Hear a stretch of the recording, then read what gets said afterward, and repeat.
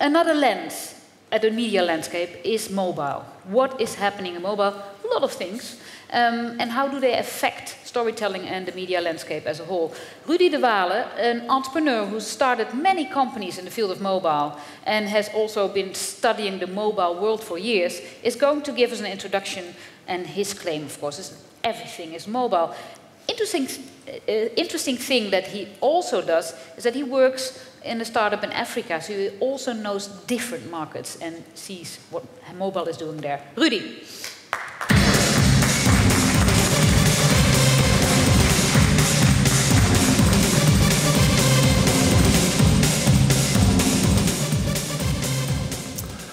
Uh, good afternoon. I have been invited here to uh, uh, give you an overview on mobile. So uh, first, I'm not an expert in storytelling, so but I hope I will uh, give you some ideas of uh, what is happening in mobile and inspire you a bit of what you could do with this new medium.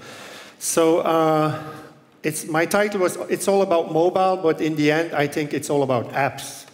apps are basically augmenting everything we do and are basically the interaction from, from uh, virtual to physical. So uh, my history has been uh, uh in digital and internet for over 20 years and 14 years in mobile. I've worked with major brands and telcos, handset manufacturers, fa fast-moving consumer brands, and organized also lots of events in mobile, for which I have been in touch with lots of CEOs of these uh, uh, disruptors, or so-called disruptors. So uh, one of the, uh, I put all my slides on SlideShare. Also, this one will go on SlideShare. So uh, just look for me on, on Google and you will find all the slides. One of the most popular is Mobile Trends 2020, which is actually a document with 50 visionaries in mobile that uh, share their experiences for this decade. And uh, we published this in 2010. The interesting thing is that some of them are already happening. Yeah, so that's how fast it goes in mobile. So I uh, recently moved to London last year and I found a company there, Nyota Media, which is actually helping African entrepreneurs uh, with uh, growth in their business and also international companies that want to uh, help improve the life of Africans through mobile technology. So there's a lot of going on in that area. So I'll give you a short uh, introduction of what's happening actually with mobile technology, what are the major disruptions or uh, augment, augmentations uh, happening in mobile, some mobile consumer trends, and then some real cases of how apps are transforming businesses and sectors, and then some storytelling with mobile. So first, uh, we are now in, a, uh, I think, a very exciting time uh, of change. There's lots of changes happening everywhere thanks to mobile technology. This device was not here five years ago, and now it's basically disrupting and changing sectors. Yeah, the people who don't understand mobile or who can't create a great experience on mobile are basically missing out on new opportunities. Big uh, companies, large corporations are now actually understanding this and are positioning in mobile because they understand that every interaction will be mainly coming from mobile device to other media and to other physical activities. So uh, just look at the Fortune 500. Uh, in 1999, almost 50% of the companies are not there anymore. This is all happening to the change of technology companies and the change in business. Uh, I agree with Paul that actually mobile or technology doesn't always disrupt, but the people who are not able to adapt are basically falling out. And there's a lot of new companies coming in that takes part of their business. So um, here's Marc Andreessen, the founder of Netscape. Uh, he's one of the investors in Facebook and other companies. Uh, what he has to say. Yeah, I think it's where we're on the, we're on the tipping point. The, the convergence of smartphones now is a very, very, very good time for experimentation uh, and for innovation. So you heard it right. The next three years, we will see more transformational changes than the last 10 years. That's a pretty bold statement. But he's not alone. Larry Page, the CEO of Google, uh, he announced uh, two weeks ago at Google I.O. that basically um, Google as a company and people that work in technology as an industry are at 1% of what's possible. Uh, Ray Kurzweil, who has been hired by Google recently as director of engineering, he's the inventor of the Singularity, a book that I can recommend to everybody. This is basically where the next leap of innovation is happening and going to accelerate a lot of changes too. Uh, the singularity idea combines uh, basically nanotechnology, neuroscience, health, IT, uh, augmented uh, reality, artificial intelligence, and robotics, and they can't disconnect it from each other. They, they, they say it's all linked, and all technologies are linked through the internet, and that's what's creating this exponential growth.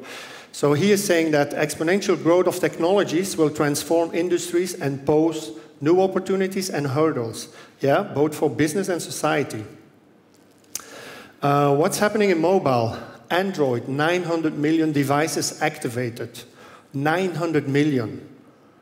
That's for a company or that's for something, a product that wasn't there five years ago. They launched in October 2008. I think it's pretty, pretty revolutionary what's happening. Apple, 50 billion app downloads. Again, this was not there five years ago. Look at the curve. It's not linear, it's exponential. China becomes the world's largest smartphone market.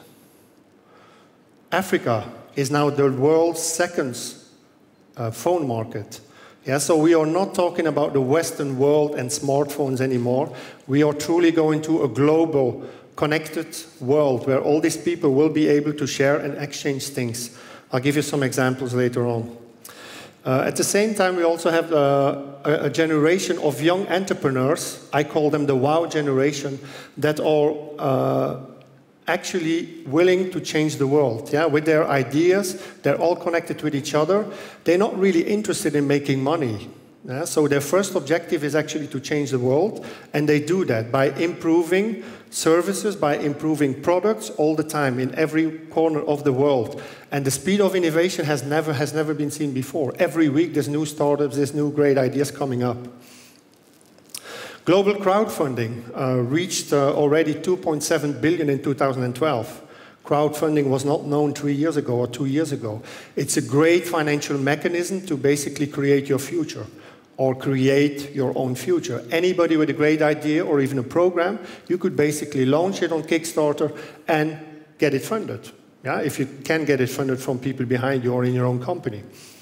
So there's lots of changes happening. Uh, publishing companies like Condé Nast are investing in fashion, yeah, in fashion e-commerce and m-commerce sites.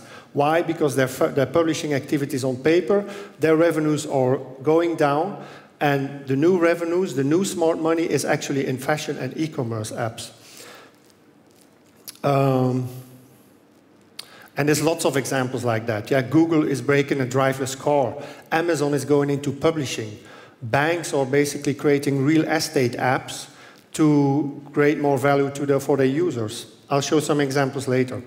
So I'm not going to bore you with statistics, but some of the key uh, things that you have to know is that mobile is going to bypass the desktop internet next year. Yeah, so this is happening already. Tablets is now the fastest sold device ever. Yeah, in less than three years, it bypassed the desktop TV and also the notebook PC.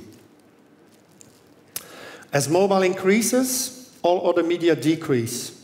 Yeah, so this is uh, something that is happening everywhere.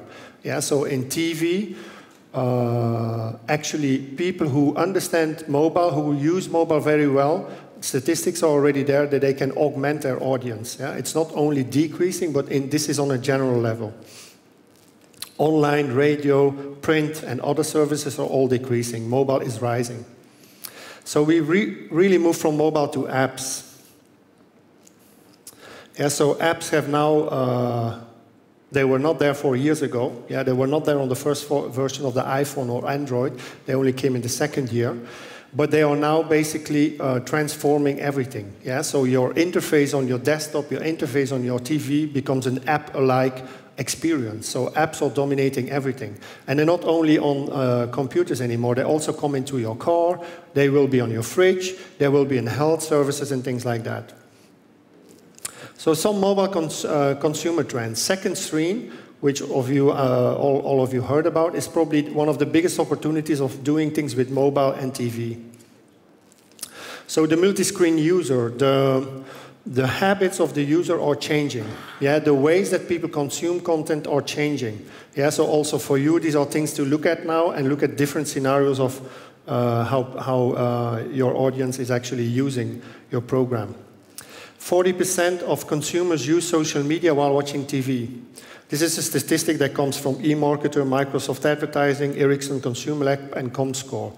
Uh, Ericsson uh, has a latest uh, number that goes already, it talks about 68%. So it's growing all the time, actually, this, this number.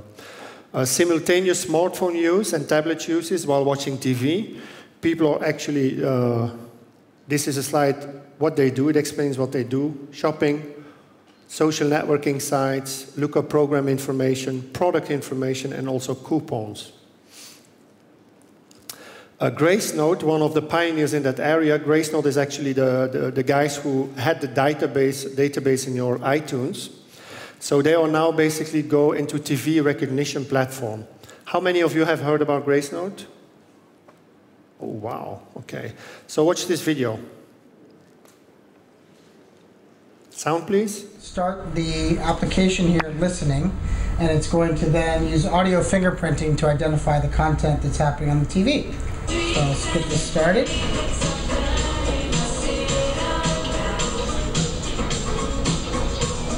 So it's now recognized what actors are on the screen and which music's playing. Bananarama Cruel Summer. And it's even showing us down here which products are in the scene, from the cars to the motorcycles to some of the different things that are uh, on screen right now in this specific scene. So this is one of the new ways that the audience will consume your content. They will be able to get information on the actors, get information on the music, and even get information on products. Shazam, which you all know, is the Shazam music app that actually uh, recognizes music when you just hold it to a, a, loudspeaker, is now doing the same for TV. They all already on 160 channels in US, yeah, which includes all the programs and includes all the advertising for those. Here's a short note too. Sound? Immediately browse the most tagged TV shows in the last few hours. Whether you tag a TV show yourself or tap on a popular show, You'll get celebrity buzz, tweets, music in the show, and more. And check out more photos of the cast. Okay. They go even further. They are developing an application that actually Shazam for clothes that will identify the clothes that the stars in the programs in the shows are watching or, or wearing. Sorry. So uh, then for users, they basically will be one click away to buy those clothes. Yeah, so this will uh, create new opportunities also for brands and sponsors in your programs. The way that advertising works will change yeah, through mobile and through pads. This is the uh, slide from Advertising Age, which is basically the social TV ecosystem. Yeah, so this was not existing a couple of years ago. Look how big the pie is already and how many new companies are in there. Uh, some other trends, mobile snacking. Uh, there's a statistic in, uh, from a report in US that 63% of female users and 73% of ma ma male users are watching their mobile every hour. Yeah? So people are continuously checking their mobile, checking a notification, checking an email, checking a Facebook or Twitter message or a YouTube video. Some of the companies that are jumping onto that are Vine, that Monique already explained, is the six, six second video that you can post on Twitter, which is now hugely popular. It's the, the highest rated app in the free apps. And it's, uh, it's used already by film festivals to create really six second content, yes. Uh, I know it sounds a bit weird, but I think what is changing is basically the way consume people. Yeah? So the way consume media is very different than they used to do. And this is all with this new media, the, the mobile. So artists or people use it also on concerts or for situations. The easy thing is that it's just a touch on your touch screen and you can have a video already. And then you have easy editing things that you can do with the video. So, and upload it straight to Twitter.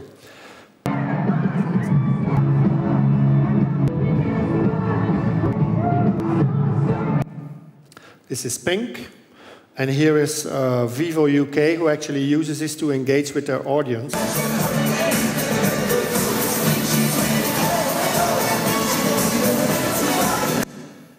So I think what is happening is that, you know, the, the, especially the young generation is connecting differently with media. You know, they, they, they create media, they send it, they share it with their peers.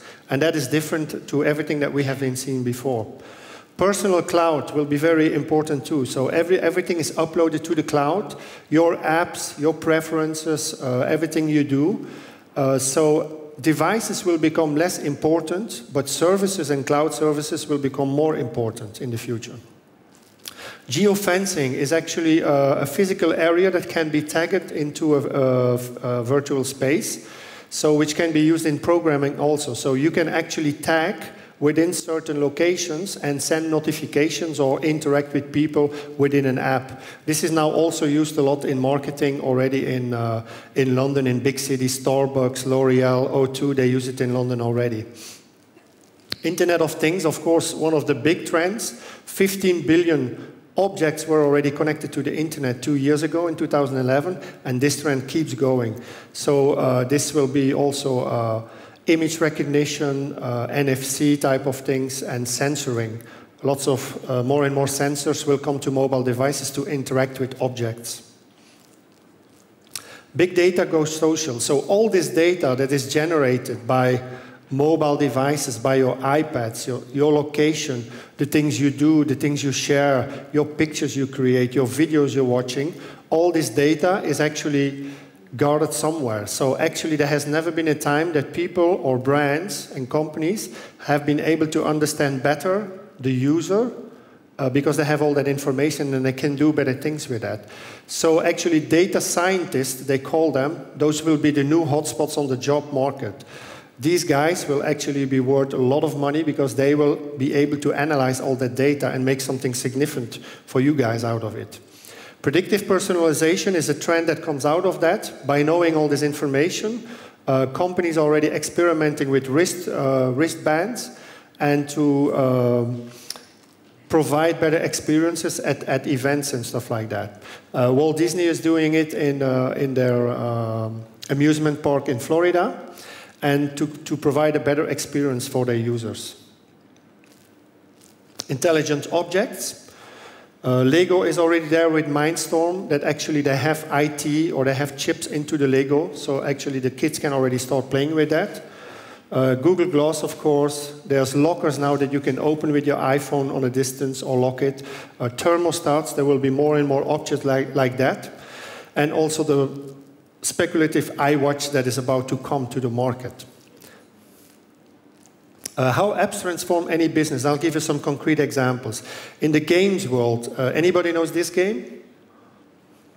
Great, great, okay.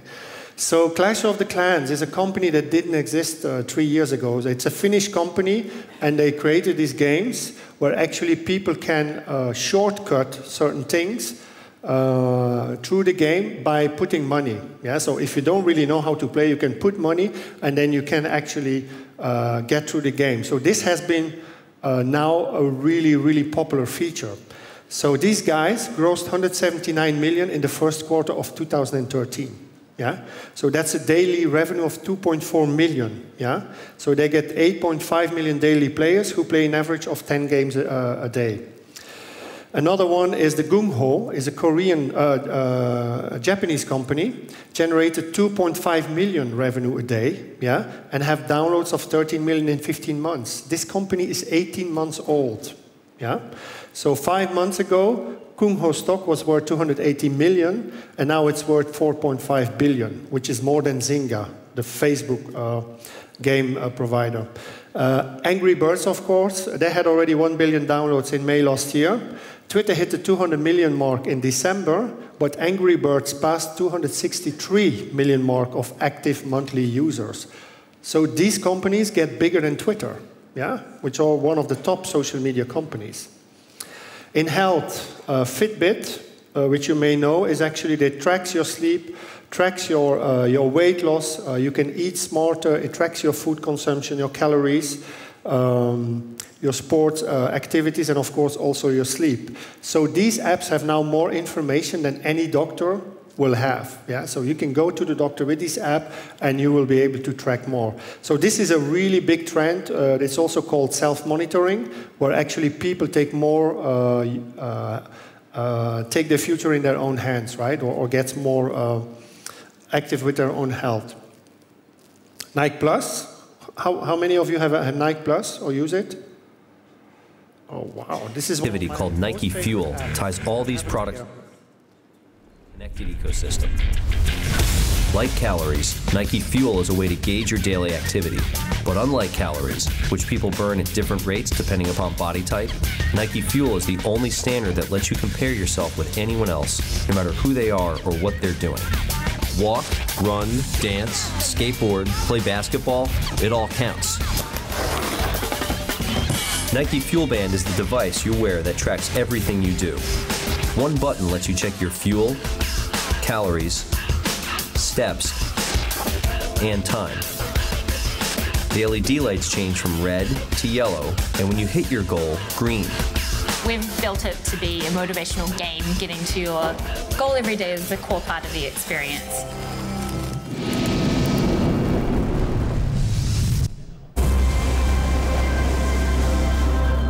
When you consistently hit your goal, Fuelie helps you celebrate. The social part is actually what keeps it really sticky. It's kind of that competition that keeps you coming back. Anyone who you're friends with on Facebook will be in your leaderboard. When you buy a Fuel Band, you automatically become part of the Nike Plus community which includes Nike Plus running, training, and basketball. Now the Nike Plus platform is set to grow exponentially with more members who are active every day. when it came time to launch the product, we came up with one word that summarized it all counts. Can you count, suckers? Everything you do counts. That became the basis for the campaign introducing Nike Fuel to the world.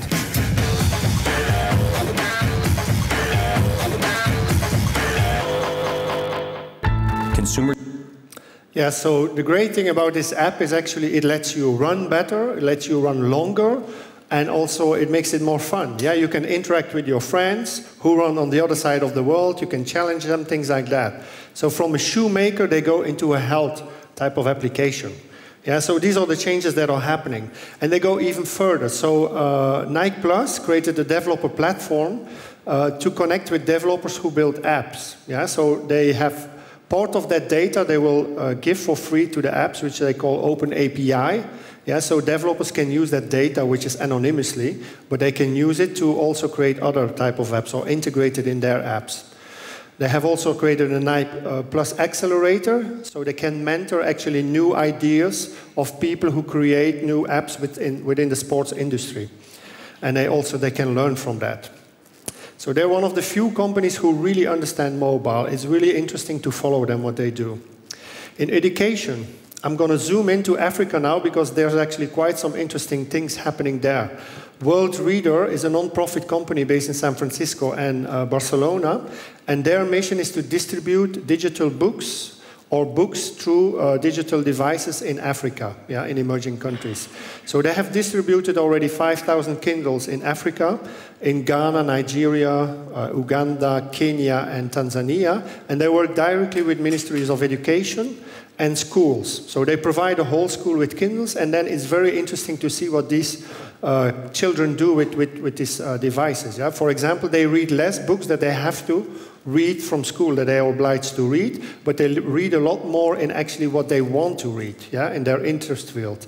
Uh, they also created a mobile app, and they had 500,000 readers on mobile of stories uh, in Africa. And they are now experimenting with new models to actually uh, empower people who are writing stories or who want to write stories. So uh, students that start writing stories, they will publish them already, so they, they have a whole distribution system immediately on the Kindle and the mobile. So this is quite unique. We don't even have that in the Western world. So these are models now that are copied by Microsoft, and Microsoft starts distributing tablets there and other companies too. Uh, I have a short. We live in a world that changes rapidly every day.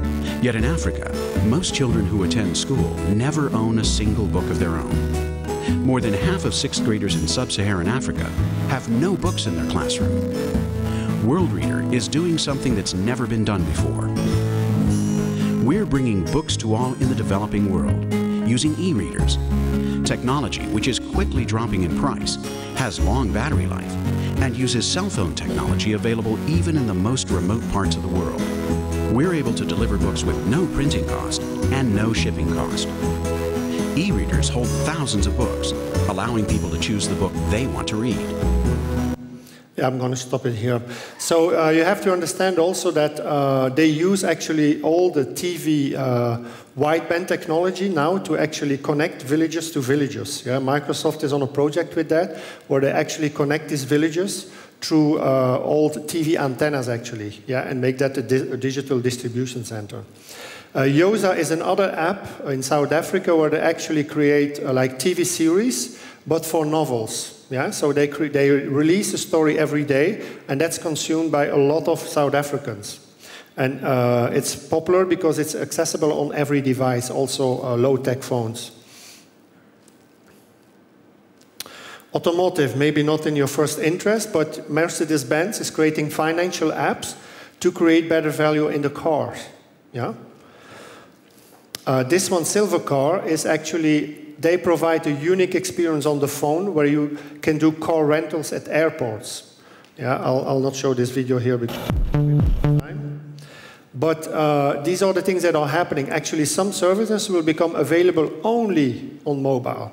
Yeah, and by creating a, great experience on mobile and a great experience for a car rental, they, I think they, they use all the uh, all A4 cars uh, they had already deals now with Virgin, with Fjord, uh, to link with them and link those uh, core services with the flight service. Uh, Google is creating a driverless car. I don't know if you heard about it, but they are basically Google, a search giant, is now going into the car industry. So they go in total different directions. In tourism, this is a project from RTTV where they connect basically old uh, cinema elements that are able to be viewed in Paris at the location itself.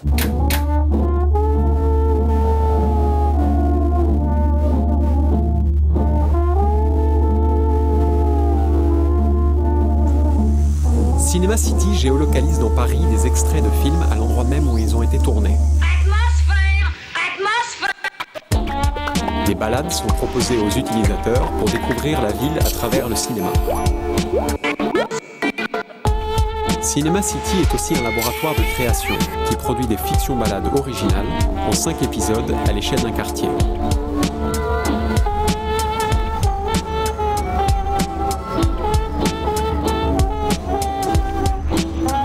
Pour aller d'un épisode à l'autre, les utilisateurs sont invités à se déplacer à pied. Well, you got the picture, right? Uh, Open Data Tourism Hack. This is a project from a company in Barcelona. That's actually it's called Hack at Home. It's a platform actually to connect to developers to solve problems in a city. So this is linked to tourism. They have done projects with the World Bank on sanitation, uh, on transport issues, but it might also be a way for you to actually ask developers to build apps for your program or create together with you. This is a new trend. Many brands start using this, called also app challenges, things like that. This video, I'm not going to show it. I'm a bit short, I guess, in time. Okay, major news channels are all using user-generated content. All the major news channels are using that all the time. Um, BBC iPlayer reached 200 million uh, connections per month in October last year. So there's more and more activity on iPads and iPhones finance. I'm going to skip this one, but this is an example of uh, Halifax in, uh, in UK that is actually creating a real estate app to uh, connect its financial services and you know, uh, build more value for their users. Square is another startup that was not there two years ago. It's now worth three billion. Yeah, it's just a device actually that you put on a mobile phone and that uh, can create, uh, can take credit cards. In retail, yeah, this video I like to show you if I have a time, yeah, because you have. South Korea is a unique market. Tesco has been evolving itself, adjusting to the local market. It even changed the name itself from Tesco to Home Plus. And at last, it grew to rank number two in Korea. But Tesco had to overcome one obstacle, a fewer number of stores compared to the number one company, Emart. Mission, could we become number one without increasing the number of stores? We made an in-depth study into Koreans once more. Koreans are the second most hardworking people in the world. For them, grocery shopping once a week is a dreaded task. So we decided to approach these busy and tired people. Idea. Let the store come to the people. We created virtual stores, hoping to blend into people's everyday lives. Our first try was subway stations. Although virtual, the displays were exactly the same as actual stores, from the display to the merchandise. Only one thing was different. You use smartphones to shop. So yeah, you, you got the picture, right? So they can basically use the smartphone, and without going to the, to the retail store, they actually can order in the metro, and they get the food delivered at home before even they get home. Uh, fashion Condé Nast is investing in these fashion platforms. I'm not going to go over there. Uh, Net-a-Porter is one of the coolest apps in fashion that are actually understanding their users, and they increased their revenue by 56%, mainly due to a mobile app yeah, last year. Storytelling with mobile, I just have some examples of actually uh, American platforms that are uh, using or integrating already the, mobile and other devices into the storytelling experiences for you guys. Here's right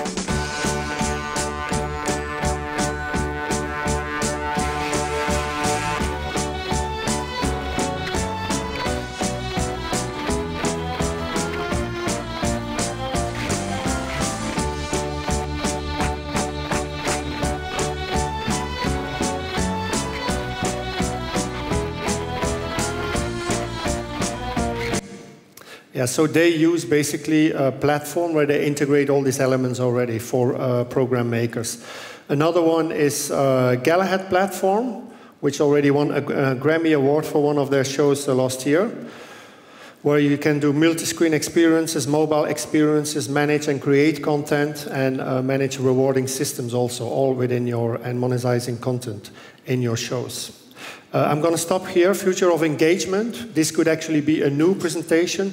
This is a, a, a report that I really can recommend to all of you guys. It's uh, just released from Publicis, and it discusses things as uh, trends, as crowdfunding, behavior change games, collaborative social innovation, grassroots change movements, co-creation communities, social curation, transmedia storytelling, collective intelligence, social recommendation, and social life experiences.